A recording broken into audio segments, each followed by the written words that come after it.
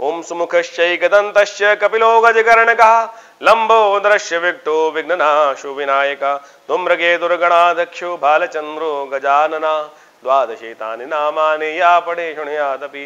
विद्यारम्भे विवाहे च प्रवेशे निर्गमे तथा संग्रामे संकटे चैव विघ्नस्तस्य न जायते। नमस्कार, स्वागत है आपका। आचार्यवाणी में मैं आचार्य डॉक्टर विक्रमादित्य आपके साथ हूँ। 25 तारीख की गणना देखिए तो उस दिन शुक्रवार का अवसर नौमी तिथि, उस दिन गंडमूल नक्षत्र विद्यमान रहेगा।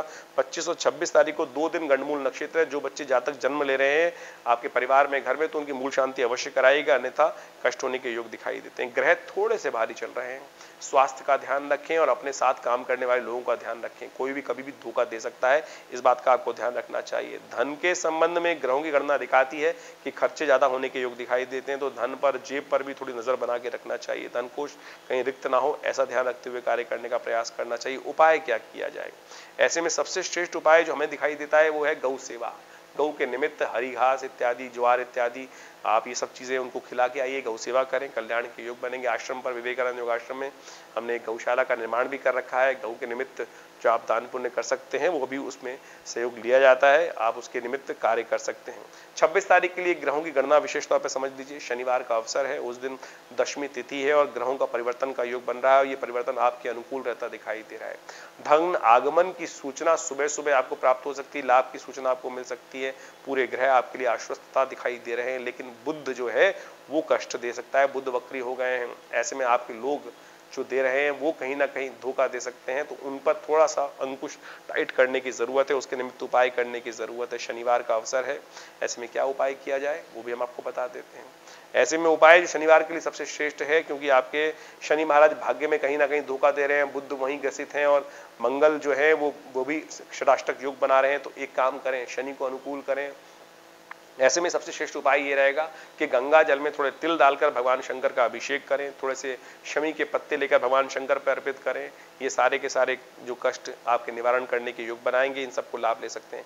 वहीं सत्ताईस तारीख की ग्रह गणना देखें तो उस दिन रविवार का अवसर है, एकादशी तिथि है। पुत्रता एकादशी के रूप में सावन की शुक्ल पक्ष की एकादशी मानी जाती है और उस दिन भद्रा भी विद्यमान है। देखिए, सुबह दस बज के पचपन मिनट से भद्रा रहेगी, रात के नौ बजे तक चलेगी भद्रा। तो ऐसे में नए कार्यों को करना, बचना चाहिए। मुहूर्त भी है सर्वार्थ सिद्ध योग कई लोग बता देंगे आपको, लेकिन सर्वार्थ सिद्ध योग के साथ साथ भद्रा विद्यमान है तो ये मुहूर्त निस्तेज हो जाएगा। ऐसे में नया कार्य आरंभ करना, नई चीज़ लेना नए कष्ट लेना, ये सब कहीं ना कहीं नुकसान देने वाले होंगे तो इस बात का ध्यान रखते हुए बहुत सारी चीज़ें होती हैं। कोई लोग हैं, कई लोग मानते नहीं है इस बात को एक हमारे मिलने वाले थे, कुछ ले ली, नई गाड़ी ली भद्रा काल के अंदर, और फिर वो गाड़ी, सही चलती हुई गाड़ी दो साल बाद कहीं ना कहीं रुक गई, और उसमें कष्ट होने के योग बने। तो इस बात का ध्यान रखते हुए कार्य करना चाहिए। आज नहीं, कष्ट होगा, लंबे टाइम बाद भद्रा काल में जो कार्य किए जाते हैं, कहीं ना कहीं कष्ट देने के योग बनाते हैं। तो इस बात का ध्यान रखते हुए कार्य करें। तो अनुकूल रहेगा, समय अनुकूल करने का आपको प्रयास करना चाहिए। वहीं अट्ठाईस तारीख यदि हम बात करें तो सोमवार का अवसर है, उस दिन द्वादशी तिथि है, और साथ साथ सूर्य, उसके बाद ही त्रयोदशी का आगमन हो जाएगा तो प्रदोष का योग बन जाएगा, सोम प्रदोष। इस संसार में जो मुहूर्त है ना, बड़ा शुभ होता है। मुहूर्त शुभ में यदि कार्य कर लिया जाए तो समस्त प्रकार के कष्टों का निवारण करने का योग बनता है। सोम प्रदोष मनोकामना सिद्धि के लिए बड़ा अद्भुत माना जाता है और सावन के महीने में सोम प्रदोष पढ़ना बड़ा ही शुभ माना जाता है। सावन तो हर बार आता है। सोमवार सावन में आएगा ही आएगा? चार सोमवार तो पड़ेंगे ही पड़ेंगे सावन में। लेकिन सोम प्रदोष बड़े विरले होते हैं। मनोकामना सिद्धि का सोम प्रदोष सावन के महीने में ऐसा अकाट्य मुहूर्त है कि अपनी मनोकामना सिद्धि के लिए अपने जो कष्ट हैं, जो हम, हमारे द्वारा अनचाहे कर्म हो गए हैं, जो पाप कर्म हो गए हैं, उनका ढेर जो हमारे जीवन में पड़ा रहता है, वो जो कष्ट को योग देता है, उसको कैसे समाप्त किया जाए? दोष को समाप्त करने का काल, दोष रहित काल दूसरों को समर्पित करने का। भगवान शंकर आशीर्वाद देते हैं तो दोष जो है वो जल जाते हैं, समाप्त हो जाते हैं, उनके एक आशीर्वाद मात्र से।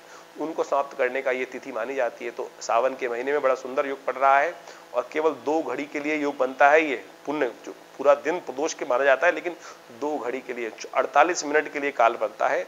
इस बार सावन के सोमवार पर बड़ा सुंदर योग बन रहा है। शाम को सूर्यास्त के बाद से लेकर 48 मिनट, हमने विवेकानंद योगाश्रम में इस मुहूर्त के अवसर पर बड़ा सुंदर रुद्राभिषेक भगवान का रखा है। आप सब उसमें सम्मिलित हो सकते हैं, उसमें भाग ले सकते हैं। यदि दूर रहते हैं तो अपने नाम से ब्राह्मणों के द्वारा रुद्राभिषेक कर सकते हैं। भगवान के रुद्राष्टाध्यायी का रुद्र यजुर्वेद संगीता का पाठ रहेगा। गणानंतवा गणपति गुंगवा महे प्रियाणांतवा उससे लेकर पूरा शांति अध्याय तक सुंदर पाठ चलेगा। भगवान का अभिषेक होगा। जल से, दूध से, दही से शैद से, मट्ठे से, इच्छुरस से, भंग से, विभिन्न भस्म आरती रूप से, अनेक प्रकार से जितने भी हमारी सामर्थ्य हो सकती है, उन सब के द्वारा भगवान के बड़े विशाल शिवलिंग पर जो बड़े सुंदर तरीके से आचार्य श्री केशव देव जी के महाराज के सानिध्य में रहकर प्रतिष्ठित किया गया था और जैसा सौराष्ट्र का बड़ा विशाल शिवलिंग है, भगवान शंकर का उसी प्रकार से बड़ा विशाल शिवलिंग दिल्ली में विवेकानंद योगाश्रम में स्थित है। आइए उस यज्ञ में रुद्रा अष्टध्यायी के इस अभिषेकात्मक यज्ञ में आप सब भाग लें, कल्याण के अवसर बनेंगे तो ऐसा अवसर बड़ा मुश्किल से मिलता है। फ़ोन नंबर सामने स्क्रीन पर चल रहे हैं। आप अपना स्थान आरक्षित करने के लिए फ़ोन पर संपर्क साध सकते हैं। देखिए, चंद्रमा ग्रहों की गणना देखें तो आपके लिए थोड़ी सी भारी दिखाई देती है, बंधन के योग दिखाई देते हैं। आप कहीं अपने मनोमस्तिष्क को थोड़ा बंधा बंधा महसूस कर सकते हैं। स्वतंत्रता चाहेंगे, लेकिन वो क्या होगा? कार्य का भार ऐसा होगा कि वो स्वतंत्रता परेशान कर सकती है। भाग्य उल्टी चाल चल रहा है। ऐसे में क्या उपाय किया जाए? बताया ना? भगवान शंकर का अभिषेक करिए, तिल से भगवान का अभिषेक करिए, कुशोदक से भगवान का अभिषेक कीजिए, सब कष्ट निवारण करने के योग बनेंगे तो स्थिति इसमें सुंदर तरीके से लाभ ले सकते हैं। उनतीस तारीख यदि हम बात करें तो उस दिन मंगलवार का अवसर है, त्रयोदशी तिथि है, उदय तिथि के रूप में विद्यमान है, उसके बाद चतुर्दशी का आगमन हो जाएगा। इस दिन हैग्रीव जयंती है, भगवान विष्णु का पूजन। भगवान विष्णु के एक अवतार हुए हैग्रीव उनकी जयंती है। कहा जाता है कि भगवान विष्णु का पूजन करने से असंभव से असंभव कार्य में विजय प्राप्त हो जाती है। जीवन में यदि कष्ट चल रहा हो, मंगलवार का दिन है, अशांति चल रही हो तो ऐसे में भगवान विष्णु का पूजन करें, तुलसी दल भगवान को अर्पित करें, कल्याण के योग बनेंगे। ऐसे में हर्षल भी परिवर्तन की तरफ़ जा रहा है। वक्री हो रहा है, बड़ा लंबी चाल चलने वाला ग्रह है। ऐसे में उस ग्रह का वक्री होना, मकर राशि में स्तना चंद्रमा के साथ होना, ये थोड़ा कष्ट में योग बनता है। तो ऐसे में इसकी ग्रह की शांति के लिए आपको गौ पूजन करना चाहिए। गौशाला में जाकर उसके निमित्त कुछ अर्पण करने का प्रयास करना चाहिए आपके लिए शुभ रहेगा।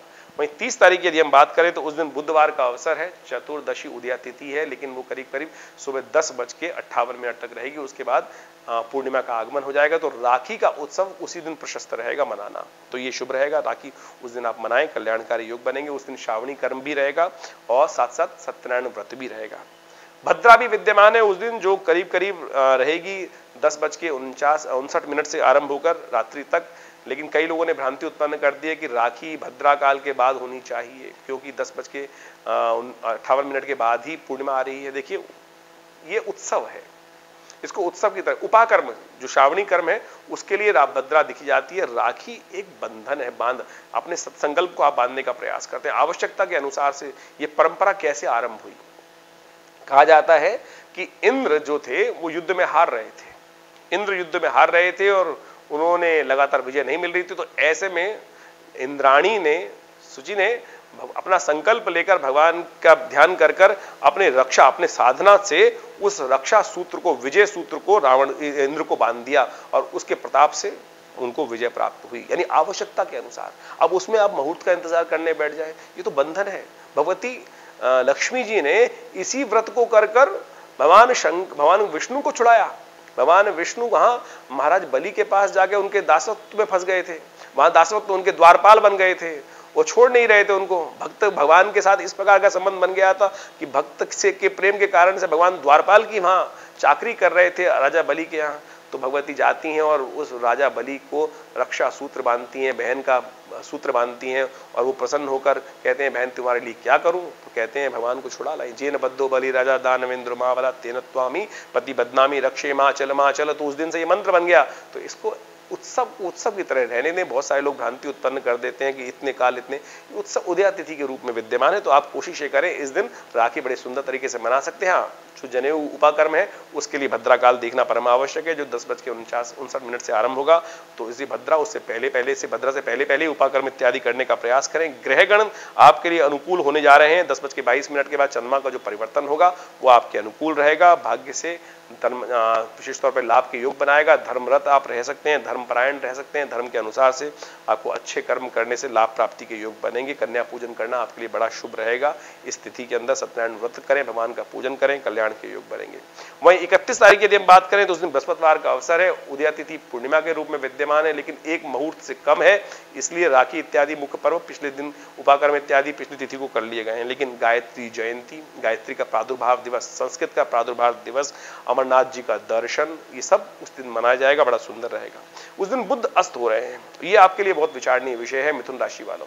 बुद्ध का अस्त होना विशेष तौर पर यह बड़ा कष्टमय रहेगा, क्योंकि बुद्ध का अस्त होना आपके लिए थोड़ा सा परेशानी उत्पन्न कर सकता है। बुद्ध जो आपके विशेष तौर पर, क्योंकि लग्नेश है, और आपके चतुर्थेश सुख के भाव हैं, ऐसे बुद्ध का अस्त होना आने वाले टाइम में आपको कष्ट देने के योग बनाएगा। तो जब तक बुद्ध अस्त रहेगा थोड़ा सा परेशानी होने के योग बन सकते हैं। ऐसे बुद्ध का उपाय करना बहुत ज़रूरी है। क्या उपाय किया जाए? देखिए, पूर्णिमा है, भगवान सावन का अंतिम दिवस है। ऐसे में भगवान शंकर का आप अभिषेक करें, विजया के रस से। भगवान का को दूरवा अर्पित करें, भगवान को बिलपत्र अर्पित करें। ये सारे उपाय हैं इनको कर कर आप लगातार उपाय करेंगे तो ठीक रहेगा। हम अब अलग से एक वीडियो बनाने वाले हैं जो बुद्ध के अस्त होने पर क्या प्रभाव आपके जीवन में उत्पन्न होगा, उसको आप देखकर समझ सकते हैं और इस कष्ट को दूर करने के लिए, क्योंकि आपकी राशि के अनुसार से बुद्ध का खेल बड़ा विचित्र है। तो ये सारे उपाय हमने आपको बताए हैं। इन सबको समझकर आप कार्य करने का प्रयास करें। ये आश्रम आपका संस्था, विवेकानंद योगाश्रम, आचार्य किशोर देव जी के द्वारा बनाई गई संस्था और आज जिसको आजकल हम देख रहे हैं। आपके लिए है। दिल्ली में बहुत बड़ा आश्रम है, हॉस्पिटल है, योग प्राकृतिक चिकित्सा का, उसमें आप जुड़ सकते हैं। हमारे यहाँ नित्य आठ घंटे यज्ञ होता है। माँ भगवती का एक बहुत विशाल शिव विग्रह है, जो उन्नीस में मुल्तान से 300-400 साल पुराना शिव विग्रह, बड़ा प्राचीन शिव विग्रह, सिद्ध शिव विग्रह है। उनके दर्शन कर लेने मात्र से, उनकी आकृति देख लेने मात्र से आपके कष्टों का निवारण हो जाता है। वो पूर्वाभास दे देती है मूर्ति। कि क्या कुछ होने वाला है, कैसा आपके लिए आने वाला समय अनुकूल है या प्रतिकूल है, वो सब आप समझ सकते हैं, ऐसी चमत्कारी मूर्ति है। और आज भी आश्रम में यज्ञ होते हैं, बहुत आठ घंटे करीब नित्य यज्ञ चलता है। रविवार को आप उस यज्ञ में स्वयं भी भाग ले सकते हैं। आइए विवेकानंद योगाश्रम में जुड़े आश्रम से, लाभ होगा, धन्यवाद।